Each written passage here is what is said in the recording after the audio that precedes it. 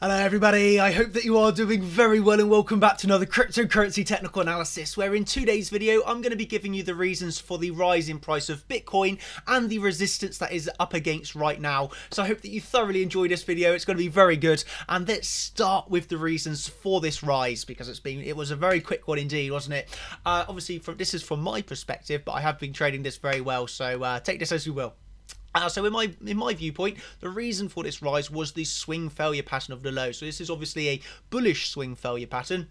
And so in reply to, to this guy saying, how is it, you know, obviously say bullish swing failure, how is it bullish? The reason it's bullish, my friend, is because when you take the low here, when you take the low, okay, so this is a 23 long day consolidation period. So 23 days of consolidation, you come, you take the low, you close back above it. So the you know, the sign was obviously coming in at around 6,550. My long, I did wait for a bit more confirmation. So I did get in my long average fill of 6,600. Uh, so 6,600 was where I took my long okay to trade basically the bullish swing failure pattern. And I was looking for the targets uh, as mentioned in the last video still that CME futures gap which was at uh, 7,260 wasn't it?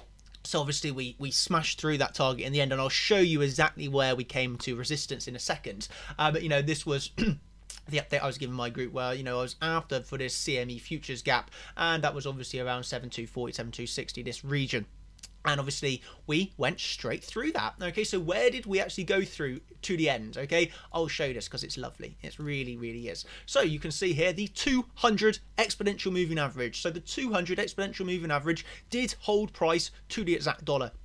Okay, so you can just see the importance of these EMAs. You can see prior here, support, resistance, resistance, actually coming back into support here specifically the top yesterday was at that 200 exponential moving average. And this is why every single day I do give to the players contenders and spectate uh, no players contenders and champions sorry. You know every day I do these trading updates where I include the EMA levels because for me they are as you can see here very important levels to be aware of. Uh, so that's basically why, why I include that in my trading updates every day um, for examples like this. So we can see that resistance coming in of that still 7480, uh, 7063 as support. Um, so, you know, we can clearly see we're, we're range bound between these two EMAs currently. Okay, um, so now moving on, how have I traded this since then? Okay, so since we got that high, uh, I done yesterday entered into a short position last night at 7315, being the point of control. 7315 this was after the big five minute up and down wick that we got. 7315 was a, a short that i took with my stop loss at 7427 okay so we can see that did trade out very nice because obviously entering into short rounds here we got a little rise a little bit higher to around 7371 obviously stop loss not hit and a decline this morning okay and this decline did come into my first take profit which was 7050 obviously very similar to why i entered that long yesterday uh, very similar reasonings uh, because um, you know, again, you come down, you take the low of the wick, and then you get the reaction to the upside. Um, so, you know, similar to that yesterday, if I'm honest.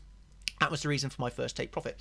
Um, and now that leaves me on to how I'm trading this right now. Okay, so obviously I am actually just scalp trading this right now. So scalp trading I refer to as like, you know, on the very low time frames, three, five minute charts. Um, just day trading. So I've got an example here. On my main account, I've already taken profits on this one, but I kept it open on this account just to show you some of the precision that I can have when scalp trading.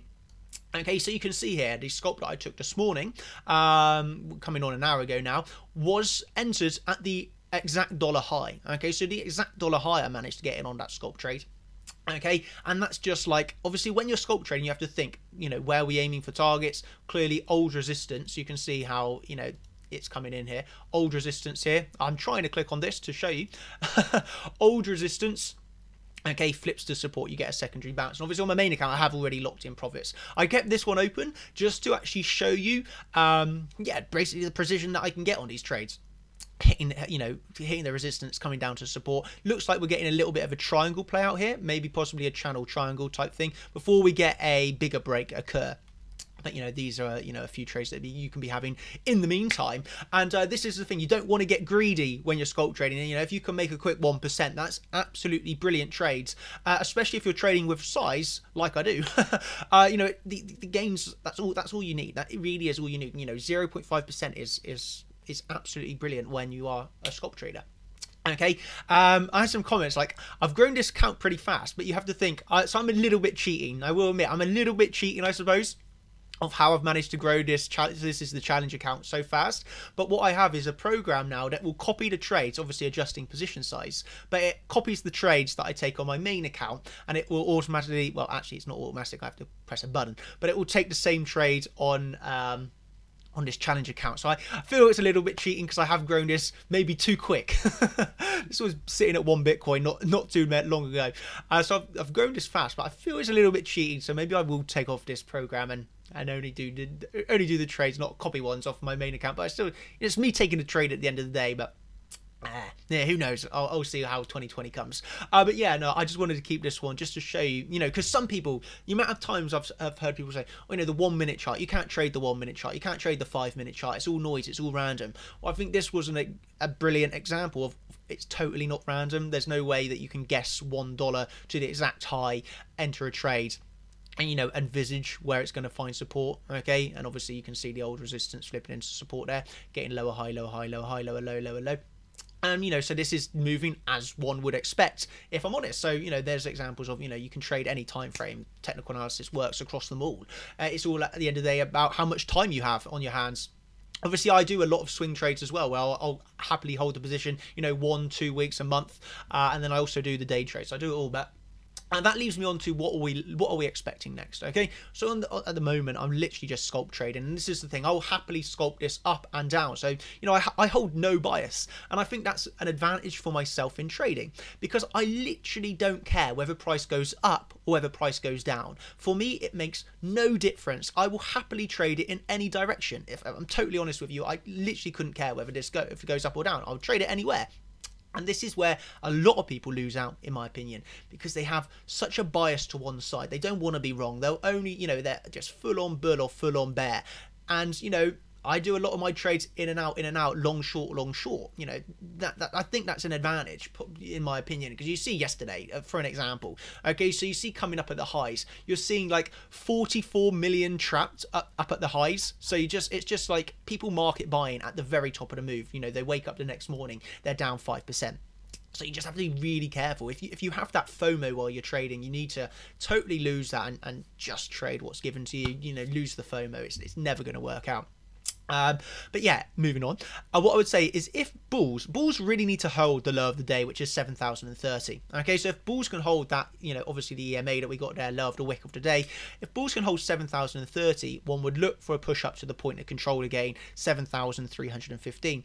If 7,315 is, is, is taken as support, we can look for the push up to our next weekly, 7,512. So that is the bullish scenario. I really do think they need to hold the low of the day, 7,000, exactly 7,000. 7,034. Uh, so Bulls really are going to fight to hold that. Um, if if they lose that, then we're gonna. I would expect, if I'm honest, a quick $100 drop straight to our next weekly. And as you can see here, so this is the precision that I get off of these levels. So you can see here the old weekly yesterday, exact resistance again to the dollar drop coming up, testing it again, drop, and you know you get like an ascending triangle, so ascending triangle breaking through. Funnily enough, then we had a symmetrical triangle again, continuation to the upside. So triangles trading very nice, but uh, you know if you lose this level, you would first envision support because old resistance flip to support, but it's reaching a point where bulls really don't want to. I really think for bullish case you want to hold this low. Okay, I'm talking short-term time frames, short-term perspective, but I really think bulls do not want to lose the low of the day. If next they have the second chance at the weekly, but a loss of the weekly, and and this is going to get pretty uh quick advancement to the downside again, in my opinion. And again, so important levels for me 7315 and 7512 as resistance, support 7030 to 6902. That is the range I'll be trading over the next few days. Um, and yeah, no, that, that's exactly what I'll be doing. Um, so I guess I will end with, you know, if, if you want these sort of live updates of the levels I'm looking for and, you know, exactly how I'm trading this, then, you know, you can come across and join us at Chart Champions. That's a decision only you can make.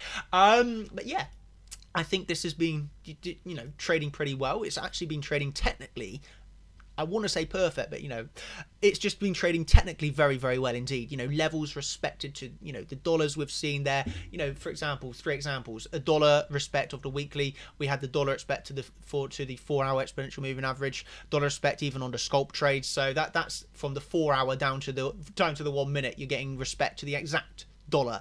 Okay, so it's you know it is a really, really technical market at the moment. So I'm absolutely loving it, absolutely loving it. Um, but yeah, I just wanted to give this quick update, uh, explain how I'm trading this, what I'm looking at, and uh, yeah, just final words to end.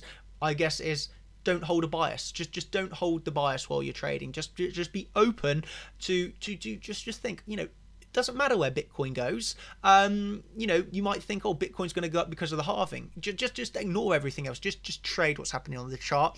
Mark your levels, and, and you will find that you know it, the money comes sort of naturally. You don't have to try too hard for it. Okay, uh, that, that's all I'll end with, those final words. I hope that you thoroughly enjoyed this video. If you have, I would thoroughly appreciate a like.